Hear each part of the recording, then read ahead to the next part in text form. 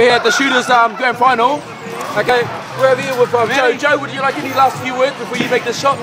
Really difficult shot, Going down, boys, you're going down. We're going down. It's a really difficult shot. It's a curve shot. It's.